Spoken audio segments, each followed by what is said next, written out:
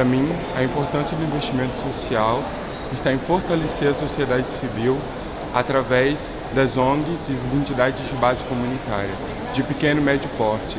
Né? Eu observo, né, andando pelo Brasil, que grandes organizações chegam nas comunidades e eles não entendem a cultura local, não entendem a dinâmica social daquele ambiente antes de implantar um projeto. Então, antes de uma grande instituição chegar, ela deve primeiro fortalecer as entidades de base comunitária, criar uma rede para assim ter um impacto social maior.